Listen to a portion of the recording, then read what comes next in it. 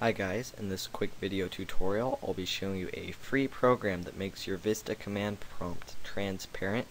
This won't work with older versions of Windows. It may work with 7 but I'm not sure so if anyone has 7 and wants to give it a try can you please leave a comment that'd be great.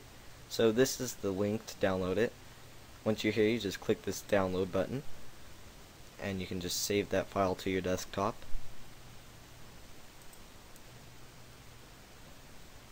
So when it downloads you can just exit out of your web browser double click this file. If you're on oh you have to be on Vista. Uh, UAC will ask you if you want to run it. You can just click run. There's no viruses or anything. You'll notice that you now have this system tray icon down here. So what you want to do now is open up a command prompt window and it'll be transparent.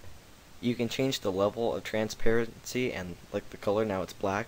You can go to right click on your desktop desktop click personalize, click on the color and appearance button, and you can select from all these colors like frost you'll notice it looks like that that's pretty cool. You can change the how intense it is or a graphite that'll make it a nice black color.